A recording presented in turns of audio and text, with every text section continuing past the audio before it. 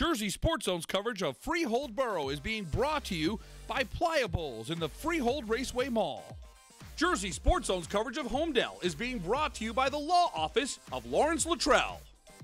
Let's head to Holmdel. The Friday night lights shining bright for the Hornets, who had a 7 0 halftime lead on Freehold Borough. We pick things up in the third quarter. The Hornets continued to lead on their ground game. Thomas Ammirati, how does he stay on his feet? A first down run moves the chains. Great stuff right there. Holmdel has been ravaged by injuries. Coach Jeff Reyna says they're on QB4. Well, QB4 is QB1 now. Look at Christian Donnelly running with a purpose. The stiff arm and some serious yardage. Donnelly inside the 10 yard line. And the drive is capped off by Ian Flanagan. 30 yard field goal, good to go, as the Hornets take a 10 0 lead. Holmdel's defense is a hive. 11 players buzzing around the ball, and the chances are you're gonna get stung. Everybody contributes.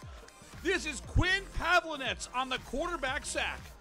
Earlier this week, we paid a visit to Holmdel to give Evan Jennings a game ball, and Jennings shows why he earned that pigskin. Great blocking by that offensive line. Jennings almost gets there. He's hauled down at the four yard line. No worries. On third and goal, Ammirati cashes in from a yard out as the Hornets lead is now 17 to nothing. Coach Dave Ellis's Freehold Borough team always battles no matter what the situation. Yah-Sin Calhoun with the strip and fumble recovery. What a play there by a sophomore. He's going to be a player to watch over the next couple of years. The Colonials take over inside the five. And then Freehold Borough gets on the board. Sha-Kim Shuler, under intense pressure, gets the pass off. Tyler Ochojski has it. Great grab in the zone. Touchdown Freehold Borough. It's now a 17 7 game.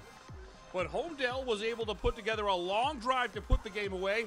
Evan Jennings finds the zone from short range, and the Hornets close out the regular season with two straight wins. 24 7 is your final. Holmdel is in the playoffs for a third straight year. That's believed to be a first in the program's history. It's even more impressive when you consider how many injuries the Hornets have had to overcome. The Hornets will be home next week in the South Jersey Group 3 playoffs.